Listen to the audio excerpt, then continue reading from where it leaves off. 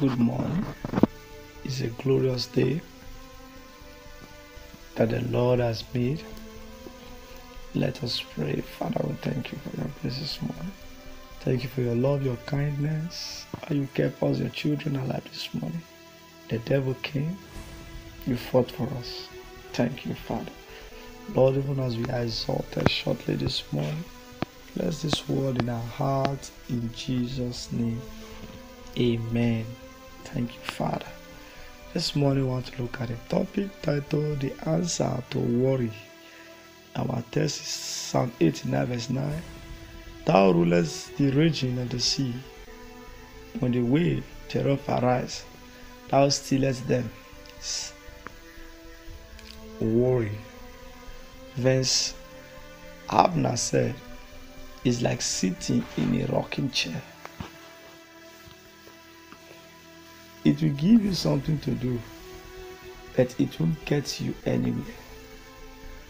Worry and anxiety has hoarded the human race since the beginning of time. A modern man, with all his innovation, has not found the cure for the plague of worry. Physicians tell us that 70% of all illness are imaginary. The cause being mental distress or worry. In reading hundreds of letters from people with spiritual problems, I am convinced that high on the list is the plague of worry. It has been listed by the heart specialist as the number one cause of heart problem.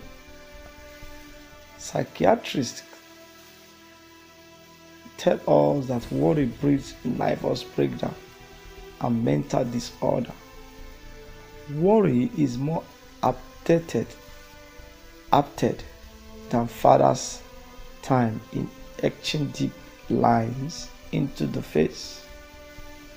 It is disastrous to health rob life of its zests, crowd out constructive, creative thinking, and cripple the soul.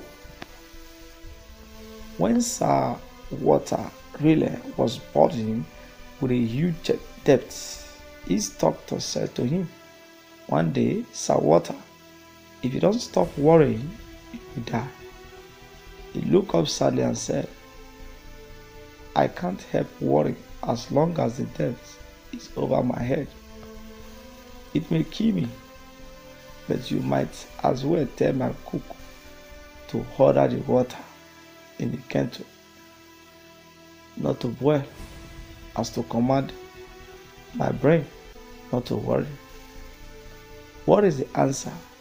The hymn writer, Edward Henry Bickersteth, hinted at it when he wrote, Peace, perfect peace, in the dark world of sin. The blood of Jesus whispered peace within. The sea was beating against the rock in huge, dashing wave. The lightning was flashing. The thunder was roaring. The wind was blowing. But the little bird was asleep in the crags of the rock. It has been settling under its wings, sound asleep. This that is peace. To be able to sleep in the storm. In Christ, we are relaxed, at peace in the midst of confusion, bewilderment, and perplexity of this life. The storm rage, but our heart has rest. We have found peace because we have learned to trust our living God. That is His word. Learning to live and trust in Him bring a bad solution. Let us pray. Our Father and our God, I rest in you and I rest, take shelter from the stress and frustration of my life. Bless me, Father, with your constant peace of mind and calmness of soul.